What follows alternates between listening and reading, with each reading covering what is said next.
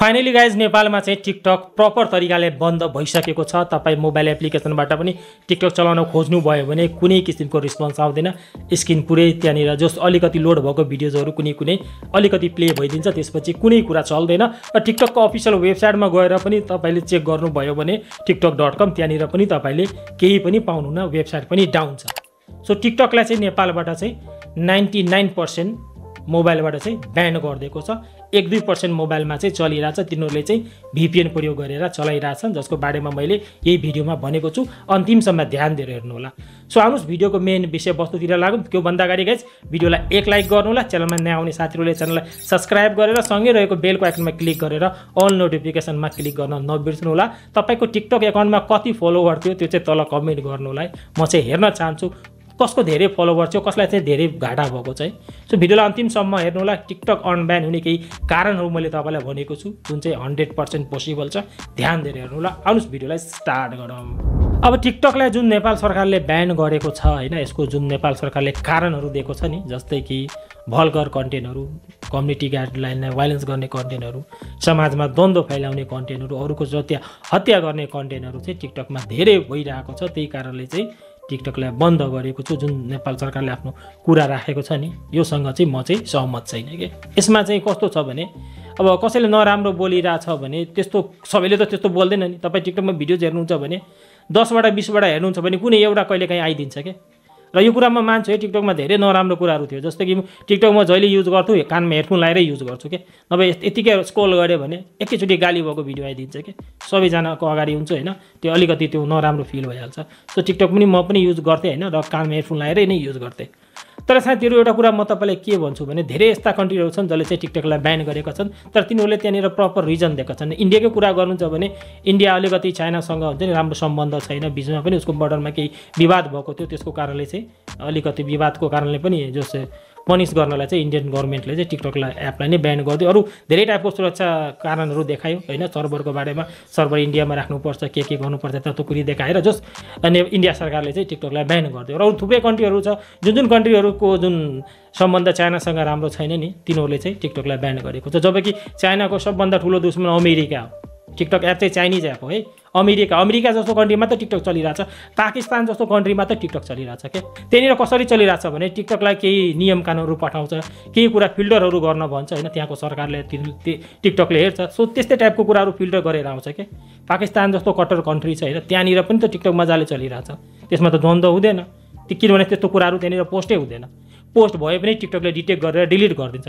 Post गर्नै दिँदैन। So यो चाहिँ नेपाल सरकारले गर्दा हुन्छ क्या। टिकटकलाई डाइरेक्ट ब्यान गरेर चाहिँ यो चाहिँ मलाई उचित लागेन। धेरैजना बेरोजगार भएका छन् क्या। नर्मली धेरै टाइपको संस्थानहरू थियो जस्तै कि ब्याङ्कहरू थियो। तिनीहरूले चाहिँ कहिले पनि हुन्छ नि टिकटक युज गर्नलाई मान्छेहरू सोसियल मिडिया म्यानेजर मान्छेहरू राखेका थिएन कि जुन दिनदेखि टिकटक चल्न थाल्यो नि सबैले चाहिँ आफ्नो विज्ञापन गर्नको लागि एकजना मान्छेलाई हायर गर्थे कि टिकटकमा कन्टेन्ट बनाउने सोसियल मिडिया कन्टेन्ट बनाउनको लागि। सो तिनीहरूको पनि जागिर भयो। धेरैजनाले चाहिँ टिकटकमा लाइभ मागेर भए पनि आफ्नो जिन्दगी चलाइरहेको थियो कि दसजनाको परिवार पालिरहेको थियो तिनीहरूको पनि करियर गयो। तिनीहरूको पनि सबै कुरा गयो। सो त्यसरी हुँदैन क्या। मैले पनि टिकटकमा भिडियो हाल्थेँ होइन? मैले पनि राम्रो राम्रै भिडियो हाल्थेँ जस ज्ञानमूलक भिडियो हाल्थेँ। केही दुई चारजनाले नराम्रो हाल्दैमा पुरा टिकटकलाई नै ब्यान गरिदिनु। यो चाहिँ एकदमै मलाई चाहिँ योबाट चाहिँ म चाहिँ सहमत छु है? र यो सबै म आफ्नो ओपिनियन सेयर गरिरहेको छु होइन? अब टिकटकलाई जुन नेपालमा ब्यान गर्यो नि अब टिकटक पनि त त्यतिकै बस्दैन नि। टिकटक पनि आफ्नो कुरा राख्छ होइन? किन ब्यान गर्नुभयो? के कारणले ब्यान गर्नुभयो? कारणहरू देखाउँछ। त्यसपछि टिकटकले भन्छ हामीहरू यो फिक्स गरिदिन्छौँ। हामीहरूले तपाईँको कन्ट्रीमा एउटा अफिस पनि राखिदिन्छौँ होइन? त्यस्तो गर्न सक्छ। तपाईँ इन्डियामा हेर्नुहोस् न पब्जी पनि चाइनिज हो तर पनि इन्डियामा पब्जी पब्जी मोबाइल चलिरहेको छ इन्डियन इन्डियन भर्जन। त्यहाँनिर कस्तो नियम लगाइदिएको छ भने बच्चाहरू यदि पब्जी खेलिरहेछ भने तिन घन्टाभन्दा बढी खेल्न सक्दैन कि? सो तपाईँ मैले पनि एउटा सर्वे गराएको थिएँ टिकटक बन्द गर्दा ठिक भयो कि भएन भनेर गरेको थिएँ। धेरैजनाले ठिक भयो भन्दै भन्दै हुनुहुन्थ्यो। तिनीहरूले किन भन्दै थियो भने यो सबको कारणले। जस्तै कि आजकल टिक टिकटकमा चाहिँ हेर्नुहुन्छ बच्चाहरू धेरै जसो समय बिताउँछन् क्या सो त्यस्तै कुनै नियम कानुन बनाइदियो होइन? टिकटक युज गर्दाखेरि दुई घन्टा तिन घन्टाभन्दा बढी नचल्ने बच्चाहरूमा होइन? अनि कन्टेन्टहरू आउँदा चाहिँ फिल्टर गरेर आउने कसैको चरित्र हत्यावाला भिडियोजहरू छ होइन? केहरू छ भने धेरै टाइपको एआई टुलहरू आइसकेको छ कि? त्यो सब प्रयोग गरेर त्यस्तो टाइपको कन्टेन्टहरूलाई ब्लक गरिदिने। सो यो सब कुरा टिकटक अगाडि राख्यो भने टिकटकले पनि फलो गर्छ कि? किनभने टिकटकलाई चाहिँ नेपालबाट धेरै फाइदा भइरहेको थियो। बिलियन्स अफ बिलियन्स भ्यू भइरहेको थियो प्रत्येक घन्टा। सो त्यस्तो टाइपको त धेरै टाइपको घटा भएको छ होइन टिकटकलाई। पनि टिकटक पनि त्यतिकै बस्दैन होइन? टिकटकले पनि केही न केही त पाइलाउँछ र धेरै ठाउँबाट चाहिँ विरोध भइरहेछ होइन? मलाई लाग्दैन कि यो चाहिँ ब्यान्ड चाहिँ धेरै दिनसम्मको लागि हुन्छ होइन? केही हप्ता अथवा केही महिनामा चाहिँ यो अनब्यान भइहाल्छ है। सो तपाईँहरू सोध्दै हुनुहुन्छ होइन? अब टिकटक ब्यान भयो मेरो पुरै कन्टेन्ट नै गइहाल्छ त्यस्तो हुँदैन। तपाईँले आफ्नो टिकटक आइडी मात्र युज गर्न पाउनुहुन्न तपाईँको सम्पूर्ण कुरा त्यहीँनिर हुन्छ है। मैले साइडमा एउटा मोबाइल फोन तपाईँलाई देखाइरहेको छु स्क्रिनमा। अब यसमा हेर्नुहोस् मैले चाहिँ टिकटक खोलेर राखेको छु। अब यसमा मैले फैजु लेखेर सर्च गऱ्यो भने जस्तो कि फैजुको बारेमा तपाईँलाई थाहा नै होला इन्डियाको पपुलर टिकटकर थियो। त्यसको एकाउन्ट अहिले पनि छ। हेर्नुहोस् त अहिले पनि छ जबकि इन्डियामा ब्यान्ड भएको तिन चार वर्ष भइसकेको छ। अहिले पनि फैजुको एकाउन्ट हेरेर देखाइरहेछ। सो तपाईँ पनि टिकटक युज गरिराख्नु भएको छ र तपाईँको पनि टिकटक एकाउन्ट छ भने टिकटक एकाउन्टमा कुनै प्रब्लम हुँदैन कुनै कन्टेन्ट तपाईँको डिलिट हुँदैन।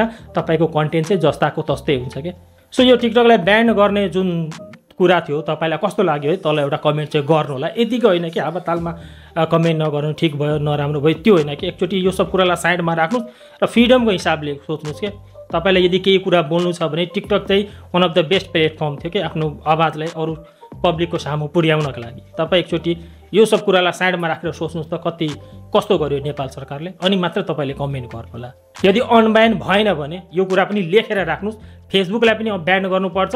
र युट्युबलाई पनि ब्यान गर्नुपर्छ। सेम कन्टेन्ट मैले फेसबुक र युट्युबमा पनि हेर्छु क्या। जे छाडा कुराहरू म टिकटकमा हेर्छु नि त्योभन्दा पनि छाडा कुरा मैले चाहिँ यु फेसबुकमा हेरेको छु। फेसबुकको रिल्समा हेरेको छु इन्स्टाग्रामको रिल्समा हेरेको छु। त्यो सबैलाई बन्द गर्नुपर्छ है। एउटालाई बन्द गरेर अर्कोलाई खोल्ने त्यस्तो होइन। सबैलाई बन्द गरिदिनुहोस्। बन्द गर्नु छ भने सबै बन्द गरिदिनुहोस्। सो यति आजको यस भिडियोमा होइन? धेरैजनाले मलाई सोध्नु भएको थियो सर यो टिकटक खुल्छ कि खुल्दैन है? तपाईँ टेन्सन नलिनुहोस्। हप्ता दिन अथवा महिना दिन वेट गर्नुहोस्। टिकटक चाहिँ अवश्य पनि नेपालमा अनबाइन हुन्छ। र केही काम लाग्ने युजफुल भिडियोजहरू म तपाईँलाई देखाइरहेको छु। गएर चेकआउट गर्नु होला है यो भिडियो चाहिँ चेकआउट गर्नु होला यो भिडियोले तपाईँलाई टिकटक चलाउन हेल्प गर्छ। सो भिडियोमा यति नै। भिडियोलाई अन्तिमसम्म हेरिदिनु भएकोमा लाइक कमेन्ट र सेयर गरिदिनु भएकोमा धेरै धेरै धन्यवाद।